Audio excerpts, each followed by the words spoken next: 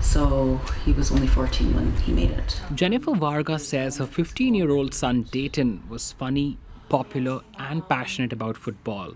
She became concerned when he started spending time alone in his dark room, always on his phone.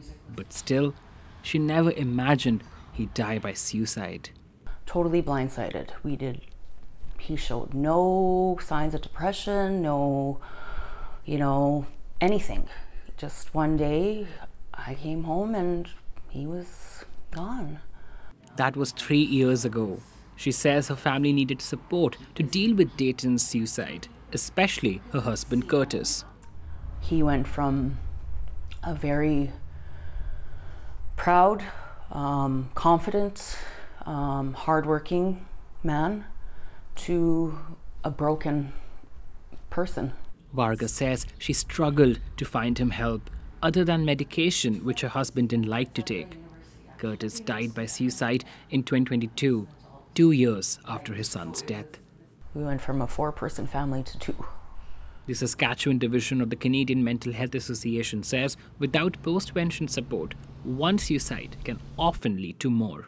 One of the things that triggers people to, to suicide is like is grief and loss, loss of any any sort, including a family member or close friend. So, um, in a way, postvention is prevention. Saskatoon Crisis Intervention Services offers that support. The Director of Clinical Services says research shows that for every person who dies by suicide, 135 persons are affected. Those that are left behind after a person dies of suicide, that is extremely impactful to their health and wellness. So we will continue to offer that psychosocial support to them as well. Varga approves of the province's plan to fund a postvention support program. She's part of a private support group and she finds comfort in her garden where she preserves memories of her late son and husband. Pratish Dayal, CBC News, Saskatoon.